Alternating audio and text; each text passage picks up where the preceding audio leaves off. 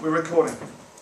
Right. Alex? Right, so question nine. Show that the derivative with respect to y of y and then 2y minus y is the natural log of 2y. So what we're going to do is differentiate with respect to y.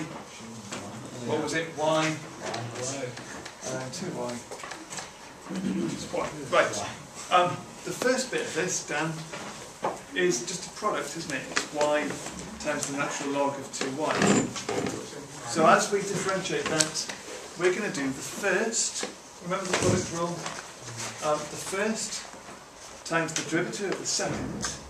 Now this is easy to make a mistake on this. If you differentiate the natural log of something, you get 1 over something. But of course we'd also have to, have to multiply by the derivative of the something.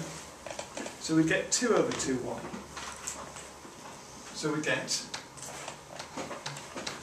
2 over 2y is that derivative. That's the first part of the product rule, so it's the first times the derivative of the second plus the second times the derivative of the first. Differentiate y and you just get 1. And then we're going to differentiate minus y. That's the product rule bit done. Differentiate minus y and you get minus 1. Um, notice we, we may remember, this is way back in June, when we first started doing Core 3 stuff, one of the things that hopefully you wrote down as a rule was that if y equals the natural log of um, a times x, and you differentiate that, dy by dx is just 1 over x. And we remember that as a, as a, as a rule done way back, because it will always be a over ax, and the a will cancel out. So whatever that constant is, it will always cancel out and leave us with just 1 over x. So having done that, having remembered that, it now drops out quite nicely. The 2's will cancel, the, uh, the y's will cancel. We've got 1 plus natural log of 2y minus 1. So of course that is just natural log of 2y. And that's what it said it was going to be. So that was, that was the first three marks. Then we have this of revolution question to do. Um, and part two had an awful lot of words, an awful lot of things going on with it. Um, the diagram shows the curve. The point there um, lies on the curve. The shaded region is bounded by the curve of the lines x equals 0 and y equals um, half e to the 4. So it's that horizontal line there. Find the exact volume of the solid produced when it's rotated completely about the y-axis. So it's that direction of, of uh, volume of revolution that we're dealing with. To do that, we need to know the limits of the, the area. The upper limit, the upper y value, is a half e to the 4. The lower limit, well that is the value when, on that curve, that's the value when x is 0, isn't it? So we're dealing with the curve y equals a half e to the x squared. It's not it anymore. And we want to do that when x equals 0. So if x equals 0, sub 0 into that, a half e to the 0 would be half times 1. So y is a half. So that value down there is uh, y equals a half. So that's our lower limit of our integral. And it's, this is um, a volume around the y-axis. And we know that when we're doing an integral against the y-axis, the volume is pi times the integral of x squared dy. And we're going, we just said, from a half up to a half e to the 4. Is that what we just said? Yes. So that's, that's the area that we want. Right. Well, hang on, let's think back to the curve that we've got. The curve is y equals a half e to the x squared.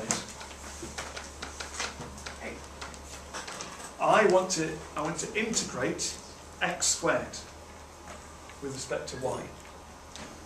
So I need to rearrange this till I find out what x squared is. 2y is e to the x squared. So the natural log of 2y is x squared. There are all sorts of signposts in the question that you're going this way because of what you've just done in part one.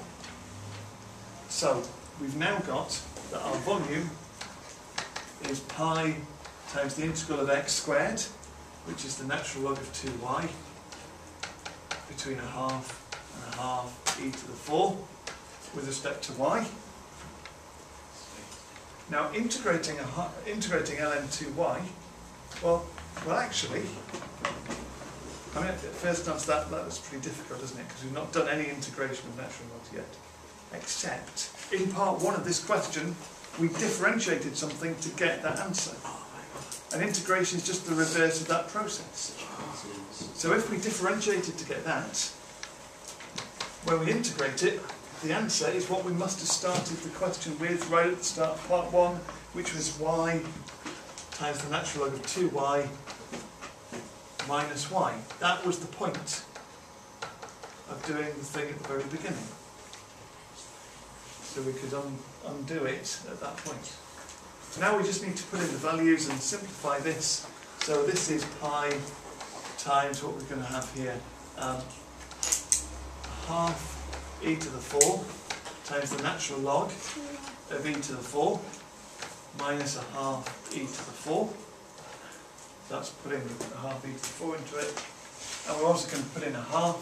So take away a half times the natural log of 1 minus a half. Oh, we're, we're on the home stretch with this now because uh, everything's going to become a little bit simpler in a moment. We've got pi times, well, the natural log of e to the 4. 4 would come down to the front, that's 4 times the natural log of e, so that's just 4. Times a half is 2, so that is 2 e to the 4. We're taking away a half e to the 4.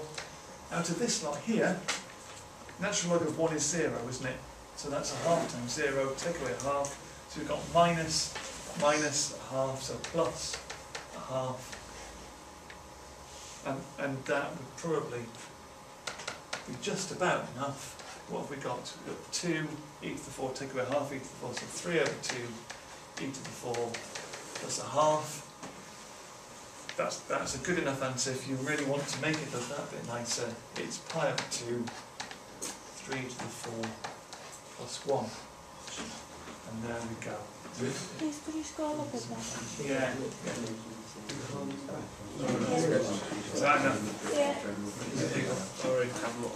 Now, um, the, the last part of this question, part, part three, shh, part three says, hence find the volume produced when the region bounded by the curve and the lines x equals 0, x equals 2 and y equals 0 is rotated completely about the y-axis. So we're still talking about a y-axis rotation here. We're now saying that we're going to take, is that all right, Charlotte? We're now saying that we're going to take this, the, the solid created by that line dropping down there, the line at x equals 2, and rotate all of that. Now, if you rotate that region, um, if you rotate oops, that region, that rectangle, around the y-axis, it would create a cylinder, wouldn't it? So you would have a cylinder. Now, what we actually want is um, the volume created by rotating that. So what we're going to do is we're going to rotate the cylinder, find the volume of the cylinder, and subtract the bit that fits in the middle of it that we've just found. And that's going to leave us with our answer. Does that make sense? That they want this red shaded bit when that's rotated round, but we can't find that. So what we're going to do is we're going to do the whole of the cylinder, and then we're going to subtract the bit that we found in part two, and that will leave us with that bit. Okay? Imagine we're creating a, a cylinder and then we're hollowing out the bit that we don't want to leave us with the shape that we're actually after. So, our answer is going to be, um, I'm going to go. Our answer is going to be, part three, we're going to do the volume of the cylinder, and we're going to subtract from that the answer to part two. That's not a particularly sophisticated way of writing it, but that's what we're going to do. Now, a cylinder, we know the volume of the cylinder, it is what? No idea. No idea. Pi r squared h, okay? So the volume of a cylinder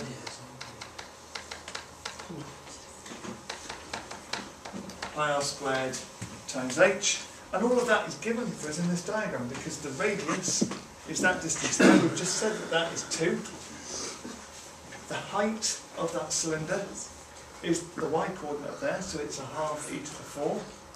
So when we put that all together, that is pi times the radius squared times the height, which was a half e to the 4. Take away our answer to the previous part, which hopefully we got that right. It was pi over 2, 3 to the 4 plus 1.